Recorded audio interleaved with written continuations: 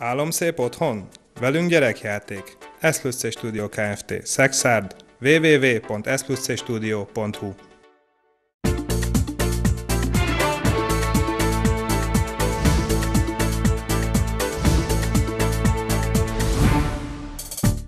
Új választás lehet Szexádon, törvénysértésre hivatkozva nyújtott be kifogást a Fidesz városi elnöke. Sikerült a kísérlet, megvan a megoldás a gázrobbanásban sérült házak megmentésére. Vidéki Nők Napja, növelni kell a nők foglalkoztatottságát. Robinson és Crusoe új darab a Szexádi Német Színház műsorán.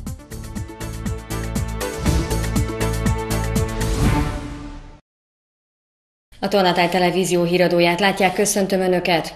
Hét szavazókörben új választást szeretne a Fidesz Szexádon.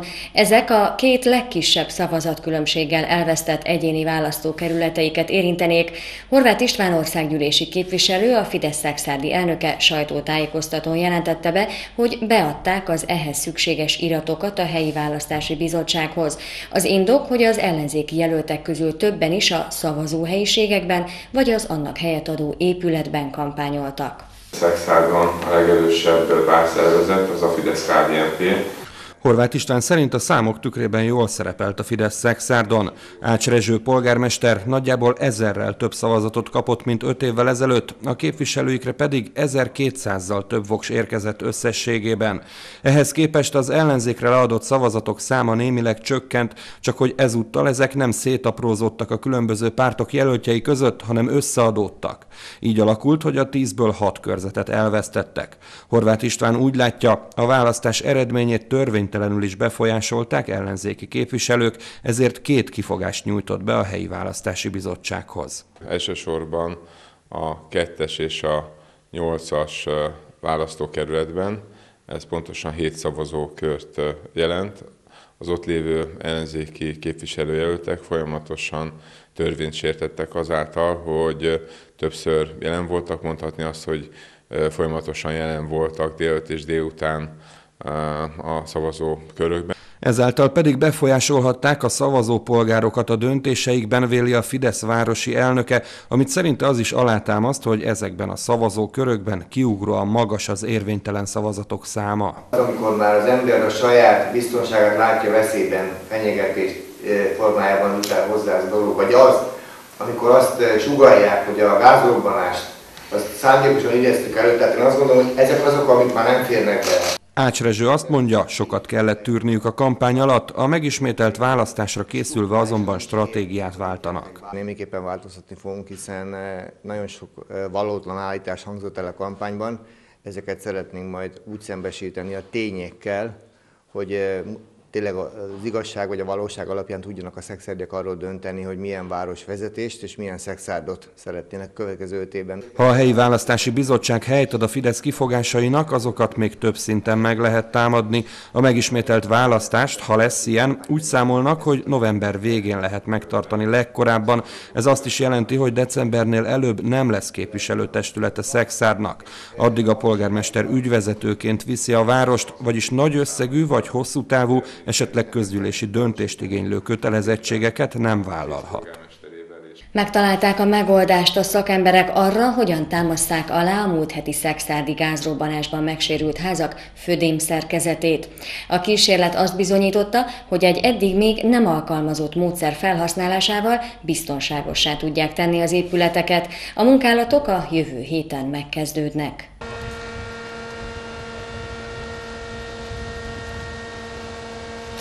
Ez volt az első 1,3 tonnás terhelése annak az anyagnak, melyből azt remélik a szakemberek megoldja a Herman Otto utcai gázdobbanás szenvedett ház alátámasztásának ügyét. Ácsazső polgármester még a múlt hétvégén beszélt arról, hogy van egy megoldás arra, hogy emberélet veszélyeztetése nélkül kezdődhessenek meg a munkák. Bár ezt a módszert Magyarországon még senhol sem alkalmazták, a szakemberek úgy vélik, megoldást jelenthet a födémszerkezet alátámasztására. Igazából amire nekünk szükségünk van ott bent a, a lakás, a födémek alátámasztásánál, az körülbelül 1200 kg, 1,2 tonna, tonna négyzetméterenként.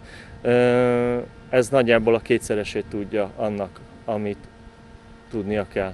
A próba során 2,6 tonnával terhelték meg a kísérleti tömböt.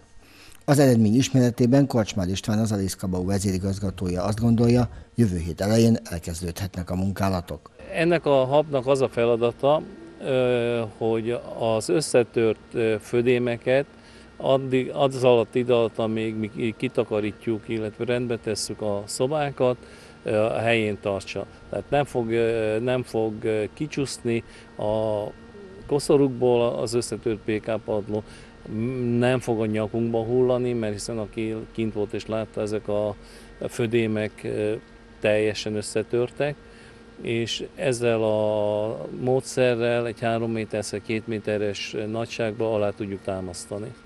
Várhatóan a szükséges alátámasztások megépítése egy hetet vesz majd igénybe. Ezt követően az újjáépítést csak szintenként lehet majd elvégezni. Építészeti ötletpályázatot hirdet bölcsödék tervezésére a Lechner Tudásközpont az Emberi Erőforrások Minisztériumának család és ifjúságügyért felelős államtitkársága és a miniszterelnökség építészeti és építésügyi helyettes államtitkársága megbízásából. A pályázatra olyan alkotóközösségek jelentkezését várják, amelyekben legalább egy tervezői jogosultsággal rendelkező építész is van. A pályázati anyagból kiadvány készül, amely segítséget nyújt a bölcsödék tervezésénél és építésénél a beruházók és a tervezők számára, illetve kiinduló pontot biztosít a bölcsöde építés jelenleg érvényes szabályának felülvizsgálatához és szükség szerinti korrekciójához. Hatalmas dézsát vontató autó akadt fent a rendőrök hálóján Paksnál. A szokatlan rakomány annyira leterhelte az utánfutót, hogy annak a kereke hozzáért az alvázához. Dunaföldvárnál pedig egy olyan kis teherautót állítottak meg az egyenruhások, ami három másik kocsit szállított. A bolgár rendszámú teherautó és a dézsát szállító kocsi sofőrje is pénzbírságot kapott. A Szent Lukács Kórház fennállásának 50. évfordulóját ünnepelték Dombóváron. A város elhelyezkedéséből adódóan regionális szerepe is van az intézménynek, 80 ezer ember ellátásáért felelős Tolna, Somogy és Baranya megyékben. 1969-ben átadásakor a legmodernebb egészségügyi intézmények közé tartozott, 8 emeletével pedig a legmagasabb épület volt Tolna megyében. 2006-ban 2 milliárd forintból felújították, 2012-ben fel fenntartása az önkormányzattól az államhoz került. Az elmúlt években jelentős fejlesztéseket hajtottak végre az intézményben. Körülbelül 4,6 milliárd forint volt az a fejlesztési összeg, amit 2016-tól napjainkig a kórház megkapott, és természetesen a következő években is azon leszünk, hogy a, a még nem korszerűsített épületrészeket eh, tudjuk korszerűsíteni, és valóban a 21. századi körülményeket tudjunk biztosítani a betegeknek, illetve az orvosellátottság pedig eh, úgy gondolom, hogy fontos, hogy folyamatosan javuljon. Bonyhádról, Teverről, Aparhantról és Győréből is érkeztek diákok az idei Völgység Kupa nevű elméleti és gyakorlati kerékpáros versenyre, amit a rendőrség szervezett. A versenyen iskolánként egy-egy csapat, két fiú és két lány indulhatott. A legjobbak végül a Bonyhádi Petőfi Sándor Evangélikus Gimnázium tanulói lettek. A Völgységkupa a 90-es évek második felében egy közlekedési baleset apropóján indult útjára. A balesetben egy tizenéves lány veszítette életét, amikor kerékpárjával a szabályok nem megfelelő ismerete miatt egy balra kanyarodás során egy autónak ütközött. Bár szűkebbek a vidéken élő nők lehetőségei az anyagi, szellemi, kulturális élet terén, mint a városokban élő társaiké, a természet közelsége, a kisebb távolságok, az erős szociális háló, valamint a közelben élő családtagok kárpótolják őket, így elégedettebb, boldogabb életet élhetnek, hangzott el a vidéki nők napján Tolnán. A konferencia fő üzenete az volt, hogy a nőkben rejlő lehetőségek kiaknázatlansága gazdasági hátrányhoz vezet, ezért tenni kell azért, hogy nőjön a foglalkoztatottságuk. És mikor beesteledik és körbenézünk, újabb csodák várnak ránk. Csak egy-két lépést kell tennünk, és megmutathatjuk gyermekeinknek, unokáinknak, a kelőholdat, a tejutat, a szipotkázó csillagokat, a világ mindenséget. Nekem ezt jelenti vidéki nőnek lenni. Ezerné Huber Éva, a Tolnai Család és Karrierpont konzorcium vezetője a Vidéki Nők napján kiemelte, bár a vidéken élő nők lehetőségei szűkebbek, akár a munkaerőpiacot, akár a kultúrát nézzük, mégis elégedettebb életet élhetnek, mint azok, akik városokban élnek. Battyáni Schmidt Margita Magyar Női Unió Egyesület elnöke előadásában azt emelte ki, hogy a nőkben rejlő lehetőségek kiaknázatlansága gazdasági hátrányhoz vezet, ezért tenni kell azért, hogy nőjön a foglalkoztatottságuk, amihez jó oktatás szükséges véleménye szerint. A munka és a magánélet közötti egyensúly megteremtése pedig egy következő problémakör, amivel sok nő küzd manapság, tette hozzá. Egyszerre több dologra tudunk figyelni, sajnos ezért túlvállaljuk magunkat, és mint például kihívások, tehát pont ez, hogy a munka és a, és a karrier és a család, tehát hogy ez az egyensúly, ez hogy lehet, akkor nem beszélve arról, hogy a család itt is többször el is jött, hogy az édesanyának feladata, aki családos, tehát hogy a gyermekei, meg a férje, meg a kis család, de közben a szülőkkel is ő foglalkozik. A különböző generációk együttműködése jelentheti a megoldást a nők túlterheltségére. Lényegében erről beszélt egy fiatalokat és idősebbeket megkérdező kutatást idézve Fűrész Tünde, a Kopmária Intézet a népesedésért és a családokért elnöke. Azt láttuk, hogy mindkét generáció kifejezetten ö, számít a másikra, kifejezetten fontos, hogy amikor egy családban kisgyermek születik, amikor egy fiatal pár elkezdi a közös életét, akkor számíthassanak a szülőkre, a nagyszülőkre. A vidéki nők nemzetközi napját 2008 óta ünneplik világszerte. Ezen a napon azok a nők előtt tisztelgünk, akik kult szerepet játszanak az élelmiszerbiztonság, megélhetés, a háztartások és a közösségek fenntartásában. Új darabot mutatott be a Szexárdi Német Színház. A Robinson és Crusoe című előadásra elsősorban a gyerekközönséget várja a társulat. Ja, man setzt sich.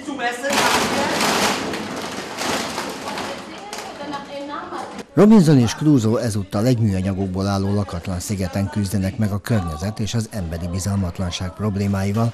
A Német Színház ezúttal kifejezetten gyerekeknek készül darabjában. A cél az érzékenyítés, mondta Lotz Katalin igazgató. Mit csinálunk mi emberek a saját klímánkkal, a saját földünkkel? Ez az egyik nagy téma. Ez egy, ami itt a diszletben látszik, ez egy, ez egy sziget, ez egy szemétsziget, és erre a szigetre vetődik partra két idegen, és ez már a másik témát is felvezeti, mégpedig az, hogy két idegen, akik teljesen különböző kultúrákból érkeznek, e, egymás nyelvét, kultúráját nem értik, hogy tudnak együttműködni egy lakatlan szemétszigeten. A darab most még a Német Színház színpadán játszódik, de hamarosan útra kell, és iskolákban kezd új életet, kiegészülve egy beszélgetéssel, melynek témája természetesen a környezetvédelme és az emberek egymás közti viszonya. A Robinson és Crusoe-t Victoria Pichel arcták rendezőnő állította színpadra, aki dolgozott már Szexárdon. Külön érdekesség, hogy robinson Cecilia Kukua alakítja, aki gánai és déltiroli származású vendégművész, és pályázat alapján nyerte el a Deutsche Bühne meghívását. Regionális híreink következnek. Fűtési szezon és szénmonoxid tavaly 15 esetben vonultak a tűzoltók baranyában. Múlt és jelen családfakutatói tanfolyam a Somogy megyei levéltárban.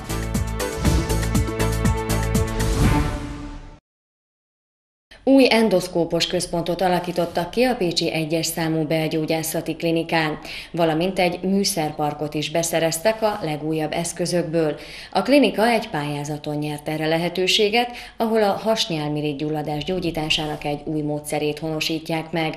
Ez nem igényel nyitott sebészi beavatkozást az endoszkópiai technika alkalmazása miatt, így gyorsabb a gyógyulás és kivéthető a súlyos szövődmények megjelenése. Az új központ kialakítása 200 millió forintból valósult meg. Átadó ünnepség az egyes számú belgyógyászati klinikán Pécset csütörtök délután. A gastroenterológiai tanszéken alakítottak ki egy új endoszkópos központot a legmodernebb műszerekkel. Itt főleg egy betegségcsoport gyógyítását fogják végezni. A heveny hasnyálmirigy gyulladásnak a súlyosabb formáinak a kezelésére lett létrehozva. Tudni kell azt, hogy a heveny hasnyálmirigy gyulladás az egyik leggyakoribb tápcsatornai olyan betegség, ami sürgős kórházi felvételt, sürgősségi osztályos megjelenést jelent, és ezeknek a heveny hasnyálmirigy gyulladásoknak a 15-20 százaléka súlyosabb formájú, ami több hetes intenzív osztályos kezelést igényel. Ez csökken le az új központ használatával, nem kell nagy feltárást jelentő nyitott műtéttel megszüntetni az akár életveszélyes állapotot. Itt külső meccés nélkül a tápcsatornán keresztül végezhető el a beavatkozás az endoszkóp segítségével. Gyomortükrözés se kezdődik tulajdonképpen az egész beavatkozás, és azon keresztül az endoszkópiaink egy része az ultrang vizsgálatra is képes, tehát nem csak a, a, a nyálkártya felszínt tudjuk látótérbe hozni, hanem a, a gyomorfal mögötti vagy a patkóbél mögötti körüli területeket is, ahol a hasnyálmirigy elhelyezkedik, ezzel az ultrang technikával vizsgálható. Vagyis az endoszkópon keresztül vezetik le a mini ultrahangos eszközt, és lehetőség van arra, hogy ezzel párhuzamosan egy másik szálon az elhalt szöveteket kimetszék. A műszer, illetve a hozzátartozó altatógép és egy röntgen berendezés 200 millió forintos beszerzést igényelt. Ezt az összeget egy pályázat keretein belül nyerte az egyes számú belgyógyászati klinika Pécsen. Dél-Afrikából, Oroszországból és Szíriából is érkeztek hallgatók a Kaposvári Egyetemre. Sokan a magas színvonalú oktatás miatt választották a Somogy megyei intézményt. Az 54 fiatal most a magyar kultúrával és népszokásokkal ismerkedett. A cél a mielőbbi beilleszkedésük segítése.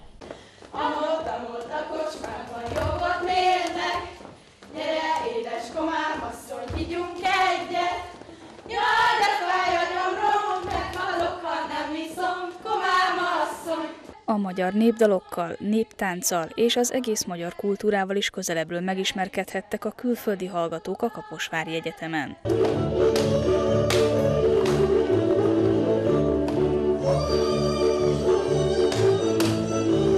25 országból, Dél-Afrikától egészen Oroszországig 54 külföldi hallgató tanul jelenleg a Kaposvári Egyetemen.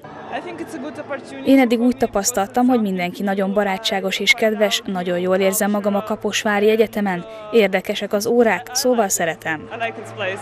A fiatalok közül sokan vannak, akik tudatosan ezt az intézményt választották. Az IZ Szíriából utazott egészen a Somogyi megye székhelyig, hogy tudását gyarapítsa.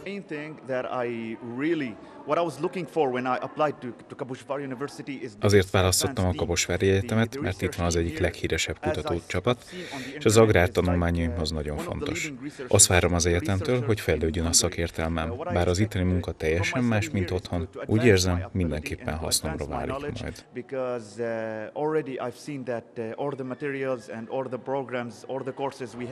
A fiataloknak nem egyszerű a beilleszkedés, távol az otthonuktól és családjuktól, de az egyetemen sokféleképpen segítik őket. Minden segítséget megadunk nekik, amit csak kívánnak. Tehát van egy kollégánk, aki azzal foglalkozik, hogy bármilyen ügyes, bajos dologgal hozzá mehetnek, segít. Olyan elképesztő problémák is vannak, hogy, hogy én magam is megdöbbennek, de mindent megoldunk. A külföldi hallgatókat a hétköznapokban is magyar fiatalok segítik a beilleszkedésben. A fűtési szezon egyik legnagyobb veszélyforrása a szénmonoxid mérgezés. Az elmúlt évben mintegy 15 esetben vonultak Baranya megye tűzoltói a gáz miatti káreseményekhez. Haláleset legutóbb 2014-ben történt, ez azonban elkerülhető. A legfontosabb a fűtő-tüzelőberendezések átvizsgáltatása. Ezt kéményseprők végzik, és mindössze 30 percet vesz igénybe. A különböző épületgépészeti eszközök, mint a pára vagy szagelszívó együttes használatakor könnyebben keletkezhet szénmonoxid, főként ha újabb típusú nyílászáróval felszerelt lakásban élünk. Ezért is fontos a rendszeres szellőztetés. Nagy segítséget nyújthat még egy minősített, a gáz jelenlétét érzékelő eszköz beszerelése. Általában 5 év az időtartama, amíg tud egy, egy szénmonoxid érzékelő megfelelően működni, tehát az 5 év közelettével érdemes már ezt is megvizsgáltatni, illetőleg egy újra kicserélni az érzékelőt. Tehát összességében azt lehet elmondani, hogy a, a tüzelő fűtőberendezésnek a felülvizsgálatával, a kémények ellenőrzésével, a fűtőberendezések megfelelő rendeltetésszerű használatával, szellőztetés alkalmazásával és még szénmonoxid érzékelőnek a használatával el lehet kerülni a szénmonoxid mérgezést, illetőleg hát az ebből eredő egészségkárosodást is. Továbbra is népszerű a külföldről behozott használt autók vásárlása hazánkban, azonban ezek után regisztrációs adót kell fizetni. A NAV Baranya megyei sajtóreferense elmondta, hogyan határozzák meg ennek mértékét, egyáltalán miért kell regisztrációs adót fizetni, mi ennek a célja. Barlai Krisztina arra is felhívta a figyelmet, mindenki körültekintően járjon el ilyen autók vásárlásakor, a tapasztalatok azt mutatják, könnyen csalók áldozatává válhatnak a hiszékeny vásárlók. Úgy hozzák be ezek a nepperek az autókat, hogy nem fizetik meg utánuk például a regisztrációs adót és az egyéb kötelezettségeket. Ezeket a gépjárműveket általában interneten vagy egy zárt közösségi csoportban hirdetik, magát a szerződést pedig úgy kötik meg a vevőkkel, hogy nem ők szerepelnek eladóként az adásvételi szerződésben, hanem nagyon sok esetben az eredeti külföldi tulajdonos által kitöltött, aláírt dokumentummal dolgoznak. Ebben az esetben fennáll annak a veszélye, hogy esetleg hamis adásvételi szerződést köt a magyar vevő. Középkori okleveleket, királyi könyveket és a betelepítésekkel kapcsolatos okiratokat is megvizsgálhattak az érdeklődők a Somogy megyei levéltárban. Az intézmény még tavasszal indított családfakutató tanfolyamot. A dualizmuskori újoncállítási, katonállítási lajstromokról van szó, és a hozzájuk kapcsolódó egyéb iratokról, nyomozási jegyzőkönyvekről és különböző más kiegészítő iratokról, például halotti anyakönyvi kivonatról, vagy pedig keresztelési születési anyakönyvi kivonatokról. Több száz éves okiratot is megtekinthettek és górcső alá vehettek az érdeklődők a Magyar Nemzeti Levéltár Somogy megyei levéltárában. Az intézmény családfakutatási tanfolyamára bárki jelentkezhetett. Őket számos érdekes, izgalmas, olykor több száz éves feljegyzésekbe is beavatják az előadók. Hát most már elég hosszú ideje kutatom a családfánkat, és ami örökségből megmaradt azért az olyan hiányos volt, hogy feltétlenül szükség volt arra, hogy a lávétarat igénybe vegyem, mert itt azért olyan könyvek vannak, amikhez őseink nem jutottak hozzá. Kóra József a tanfolyamon tanultakat jó hasznosította a kutatásai során. Egészen 1726-ig sikerült felmenői kilétét kideríteni. A levéltári családfakutatás abban is segít, hogy az intézményt és az ott folyó munkát közelebbről megismerjék az érdeklődők. Én azt gondolom, hogy aki először itt beleszagol itt a levéltári millióbe, kicsit már képet kap arról, hogy mi is folyik a levéltárban. Az utolsó alkalommal szokott lenni egy raktártúra is, amikor a raktárban is ö, megtekinthetik azt az iratmennyiséget és az irattípusokat is, amiket ö, mi őrzünk. Tehát ez is egy ö, megismerkedési lehetőség a levéltárral. Az eddigi családfakutatás tanfolyam sikerességét az is jól mutatja, hogy minden előadásra már hónapokkal előbb elfogyott a szabad hely. Végül mutatjuk újra, hogy miről szólt a híradó. Új választás lehet Szexádon, törvénysértésre hivatkozva nyújtott be kifogást a Fidesz városi elnöke. Sikerült a kísérlet, megvan a megoldás a gázrobbanásban sérült házak megmentésére. Vidéki Nők Napja, növelni kell a nők foglalkoztatottságát. Robinson és Crusoe új darab a Szexádi Német Színház műsorán.